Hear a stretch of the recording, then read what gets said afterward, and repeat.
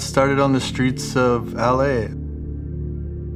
As a young kid, and I was a latchkey kid, as they call them. And so both my parents worked, so I had time from, you know, after school till I got home to wander. And uh, one of the things that started catching my eyes when I was wandering was murals, stories about our history and, you know, Chicano history and in the form of art.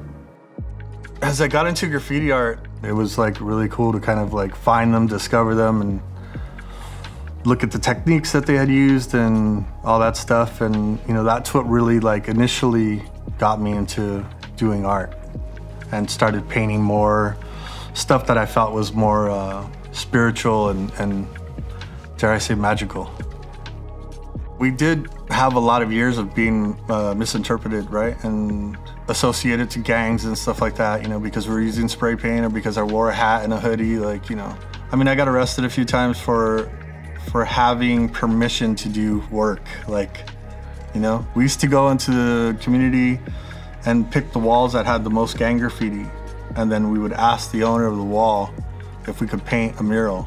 And they would be like, yeah, sure. Like, it's better than what's there. So it's no longer like as alienated as it used to be. I would just say like it just has to become second nature. Try and like push yourself as an artist and obtain goals when it comes to process, you know, explore different processes, um, and don't allow people to dictate uh, anything you're doing. You're feeling it, then you should do it.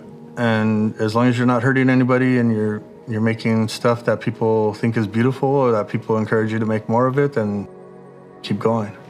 So every artist's voice has a different audience, you know, and uh, and so I think it's it's necessary to have a lot of different voices, you know, and a lot of artists do have the potential to create peace in their space. They do have an effect on the community, and you know that's powerful.